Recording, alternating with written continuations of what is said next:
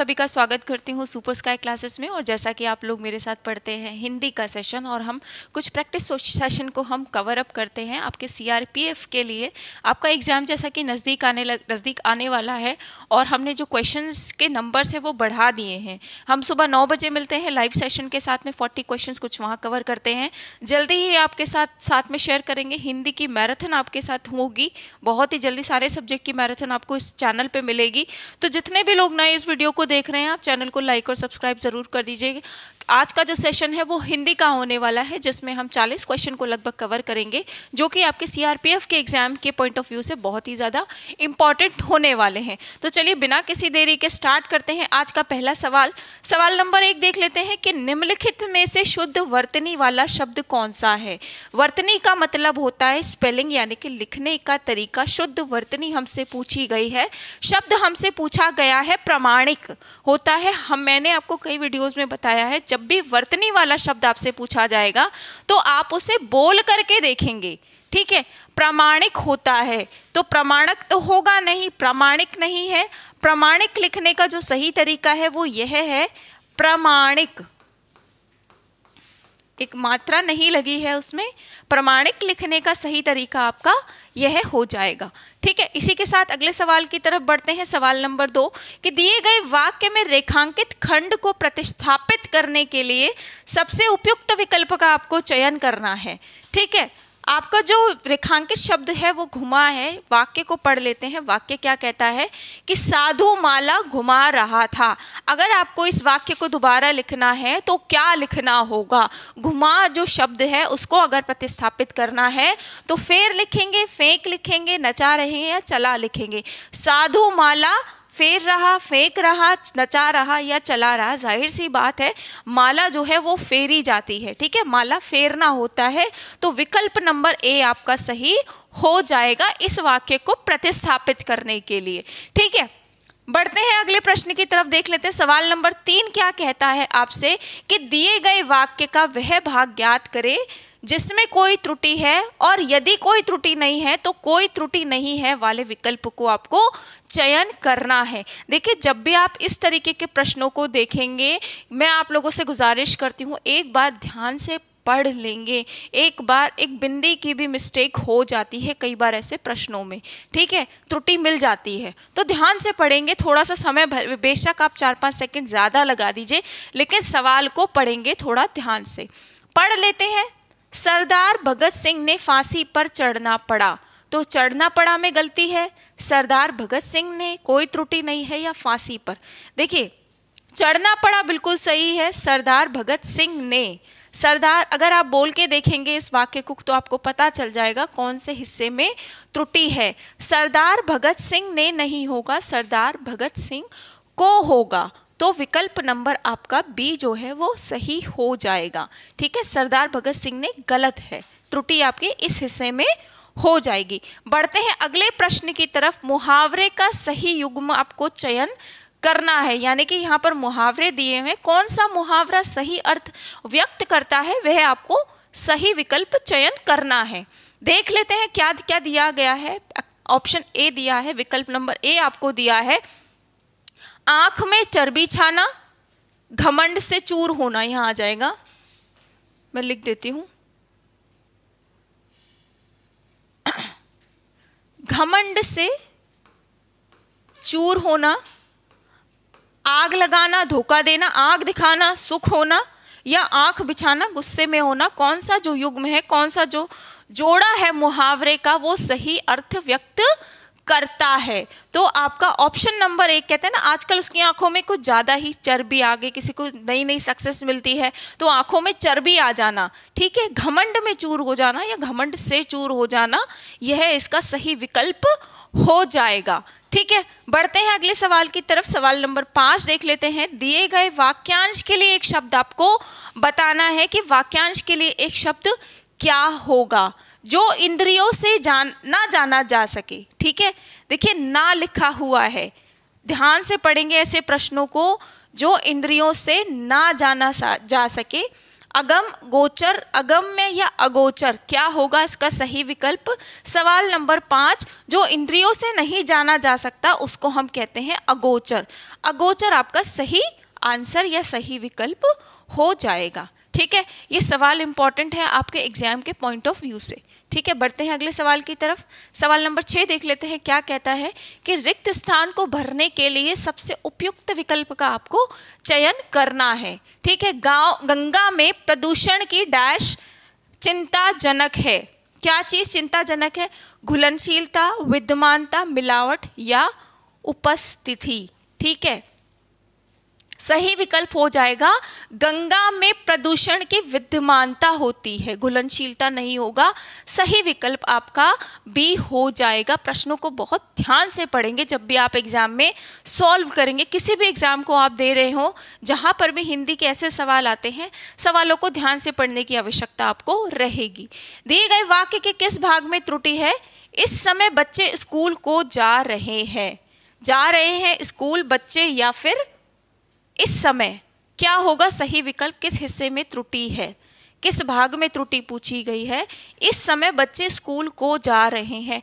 तो इस समय सही लिखा है, बच्चे भी सही है। स्कूल को जा रहे नहीं होगा? स्कूल में जा रहे हैं या स्कूल की तरफ़ जा रहे हैं। ठीक है? आपका जो इससे में गलती हो जाएगी, वो इस पार्ट में है। स्कूल को। ठीक है? यहाँ पर ये ऑप्शन नंबर बी हो जाएगा। स्कूल को नहीं होगा। स्कूल की तरफ़ जा रहे हैं या स्कूल में जा रहे हैं? आपका सही विकल्प हो जाएगा। नेक्स्ट क्वेश्चन देख लेते हैं। सवाल नंबर आठ आपका क्या कहता है कि दिए गए वाक्य में, देखिए फिर से आपसे वही पूछा गया, जहाँ वाक्य की बात होगी, वहाँ पर आपको थोड़ा सा प्रेजेंस ऑफ़ माइंड ज़्यादा यूज़ करना पड़ेगा और वाक्य को ध्यान से पढ़ना पड़ेगा। ठीक है?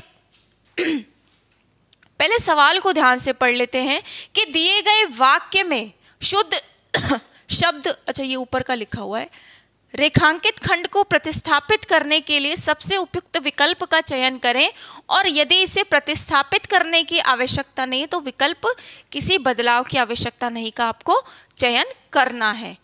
वाक्य पढ़ लेते हैं, क्या दिया है आपको? वाक्य दिया है, इस कमरे में केवल दो लोग, एक लड़का और एक लड़की बैठी है। ठीक है? किसी बदलाव की आवश्यकता नहीं है। एक लड़की बैठा है, एक लड़की बैठे हैं, या कई लड़की बैठे हैं, क्या होगा इसका सही विकल्प? देख लेते हैं। फिर से एक बार वाक्य को पढ़ लेते हैं। इस कमरे में केवल दो लोग। एक लड़का और एक लड़की, यानी कि दोनों की बात हो रही है। ना मैं बैठा बोल सकती हूँ, ना मैं बैठी बोल सकती हूँ। दोनों के लिए कॉमन जो शब्द यूज़ होगा, वो बैठे होगा।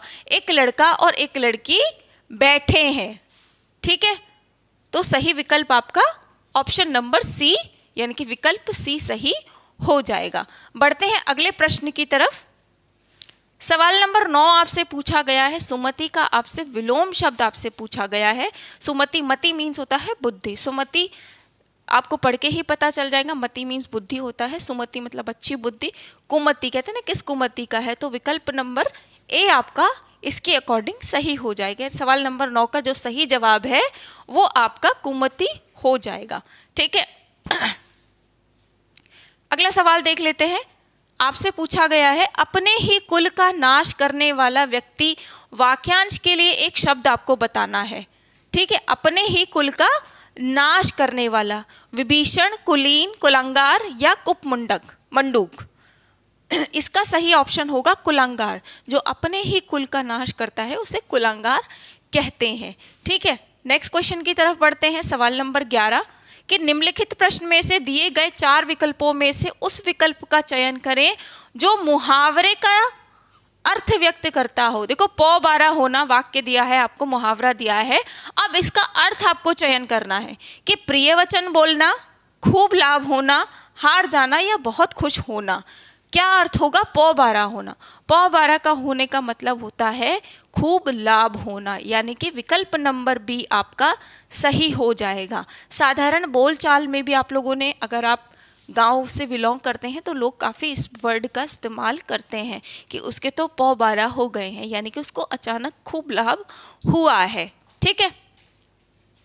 नेक्स्ट क्वेश्चन देख लेते हैं। शुद्ध वर्तनी वाला शब्द कौन सा है? सवाल नंबर बारह है आपके सामने। चार शब्द लिखे गए हैं और आपको बताना है कौन सा तरीका हासिल लिखने का सही है। बोल कर के देखेंगे, हासिल। हासिल आपका लिखने का जो तरीका होता है, वो होता है, ये सा से सपेरा आता है और छोटी ई की मात्रा इसमें लगती है। इसमें मात्रा गलत है, इसमें श गलत है, इसमें भी श गलत है। विकल्प नंबर बी आपका करेक्ट हो जाएगा। नेक्स्ट क्वेश्चन देख लेते हैं।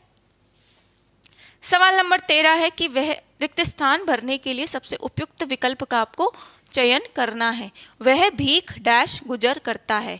अब भीख तो मांगी ही जाएगी। देख लेते हैं ऑप्शंस को। फेंक कर नहीं होता है, देकर नहीं होता है बांट कर नहीं होता है। भीख मांग कर होता है, वह भीख मांग कर गुजर करता है। क्योंकि देकर, ऐसे तो हो भी हो, ये भी बोला जा सकता है कि भीख देना, लेकिन यहाँ गुजर करने की बात हो रही है तो यहाँ भीख मांग कर जो है, वो उपयुक्त विकल्प आपका हो जाएगा। यानी सवाल नंबर तेरह का आपका जो सही जवाब होगा, वो आपका भीख मांग कर हो जाएगा। ठीक है? बढ़ते हैं इसी सीक्वेंस में सवाल नंबर चौदह की तरफ़। दिए गए शब्द का विलोम चुनना है। अस्वीकार का आपको विलोम शब्द बताना है, यानी कि उल्टा मतलब बताना है। ठीक है? अस्वीकार का अपकार, अनुदात, अनुदारे या अंगीकार। ठीक है? अस्वीकार का जो विलोम शब्द होगा, वो आपका होगा अंगीकार। अंगीकार आपका सही शब्द हो जाएगा। विलोम शब्द इस शब्द का सही ये होगा। ठीक है, बढ़ते हैं नेक्स्ट क्वेश्चन की तरफ़, सवाल नंबर पंद्रह। तीर का प्रायवाची पूछा है आपसे, तीर का प्रायवाची यानी समानार्थी क्या होगा? ऑप्शन देख लेते हैं, सर, कर, शर या फिर नाव। यहाँ पर सर नहीं होगा, यहाँ पर शिर होगा। ठीक है, पंद्रहवें सवाल का आपका, तीर का जो प्रायवाची होगा, वो शिर होगा। देखते हैं नेक्स्ट सवाल आपसे क्या कहता है रिक्त स्थान को भरने के लिए सबसे उपयुक्त विकल्प का आपको चयन करना है। वाक्य पढ़ लेते हैं। कश्मीर में विद्रोहियों का। अब विद्रोहियों का क्या हो सकता है? विषाद, कंप, आतंक या त्रास? कश्मीर में विद्रोहियों का आतंक था। ऑप्शन नंबर सी हो जाएगा आतंक। था या है, जो भी आप लिखना चाहिए यहाँ पे टाइपिंग मिस्टेक हो रखी है। ठीक है, कश्मीर में विद्रोहियों का आतंक था या है? नेक्स्ट क्वेश्चन देख लेते हैं। वाक्यांश के लिए एक शब्द आपको पूछा गया है, जिसके मन में दया का अभाव हो, यानी कि कमी हो। दयावान, निर्दय, दयाभाव या निर्दय। सही विकल्प होगा, जिसके मन में दया का अभाव हो, यानी कि दया नहीं होती है, उसे हम कहते हैं निर्दयी। ठीक है? बिना दया भावना का। ऑप्शन नंबर डी आपका सही हो जाएगा। नेक्स्ट क्वेश्चन देख लेते हैं।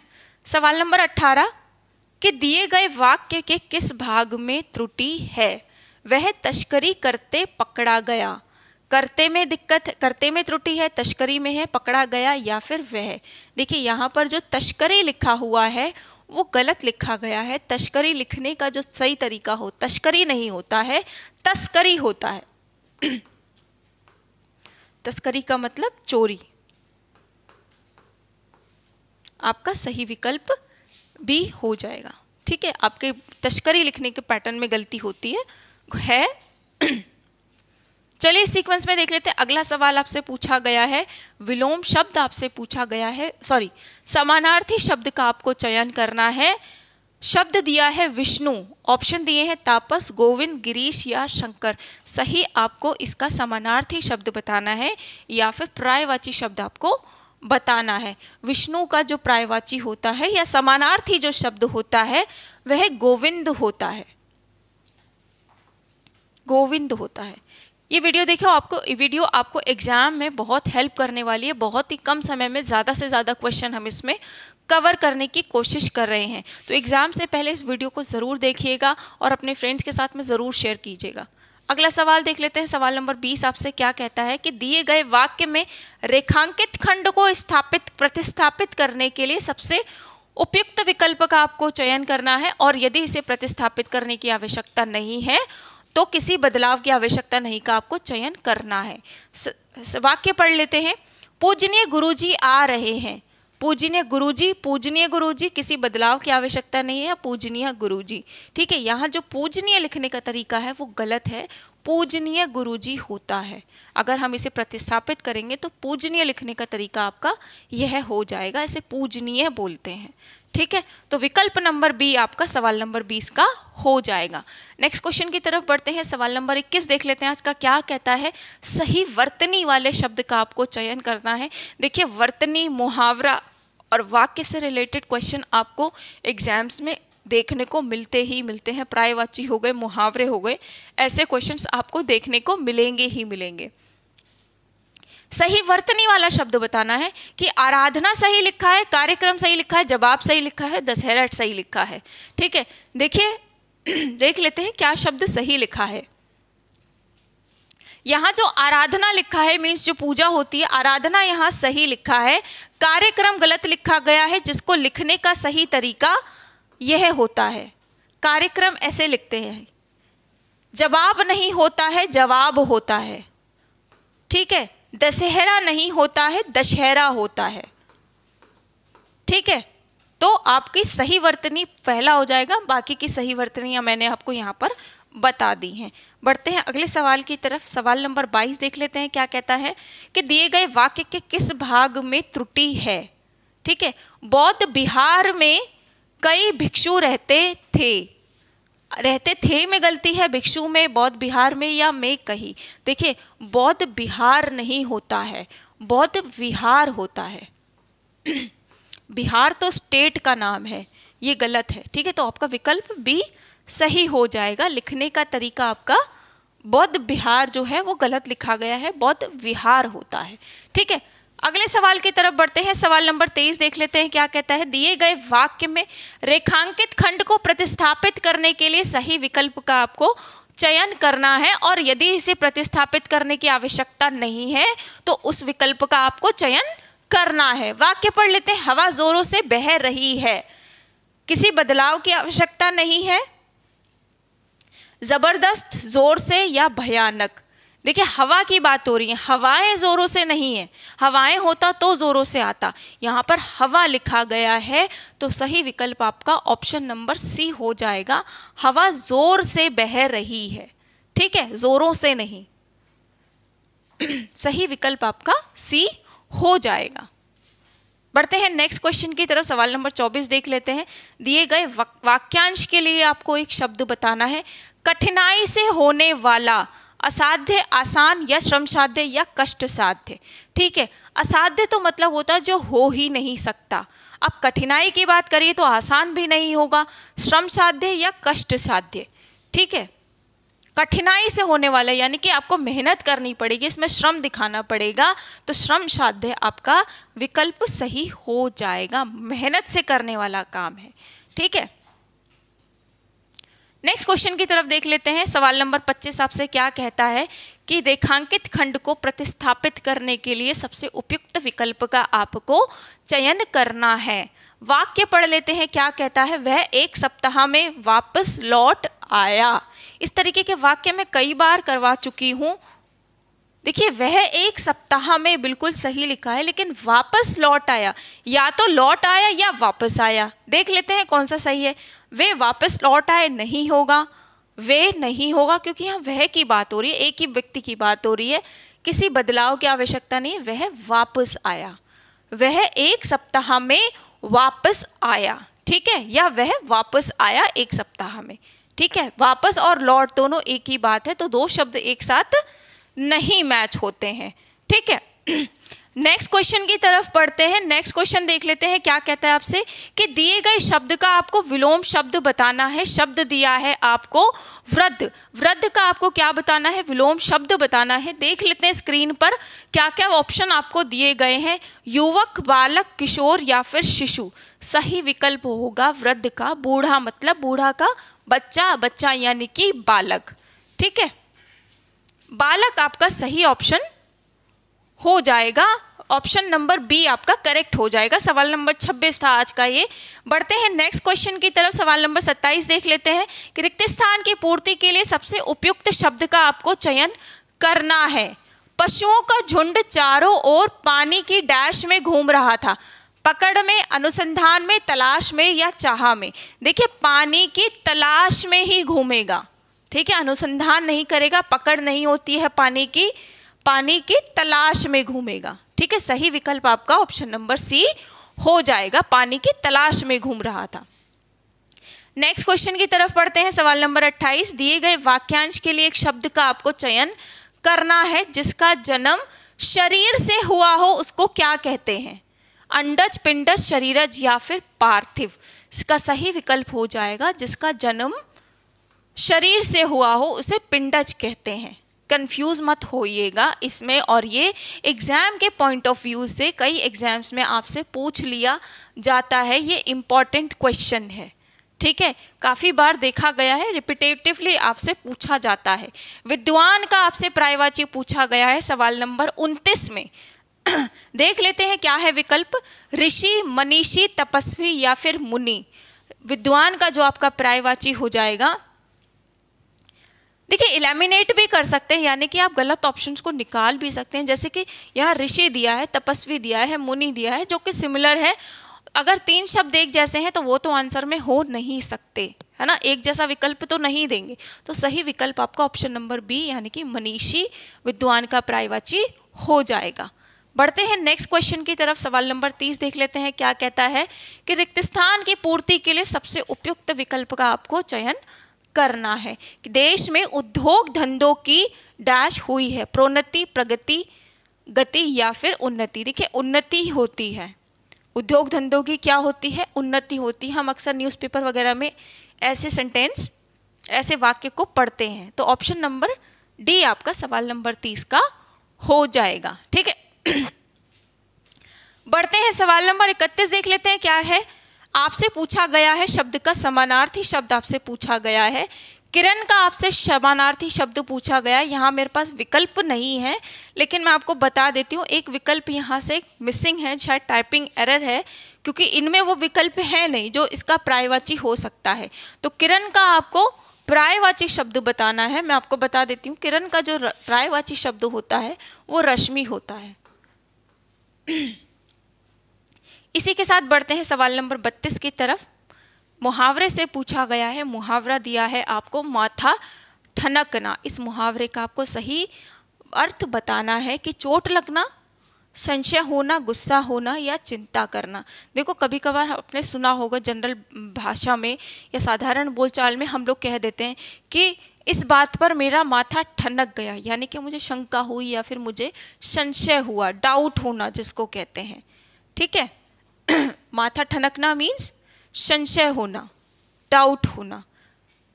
बी ऑप्शन आपका करेक्ट हो जाएगा क्वेश्चन नंबर बत्तीस का आंसर देखते हैं सवाल नंबर तैतीस क्या कहता है?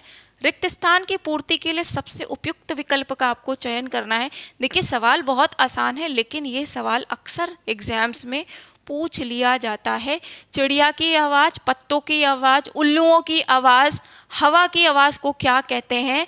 इन आवाज़ों से रिलेटेड क्वेश्चन आपको देखने को मिल जाते हैं। तो ऐसे सवालों को हल्के में मत लीजिएगा। ऐसे सवाल कई बार पूछ लिए जाते हैं। तो चिड़िया क्या करती है? जहर सी बात है, बहुत छोटा सा प्रश्न आपसे पूछा गया है।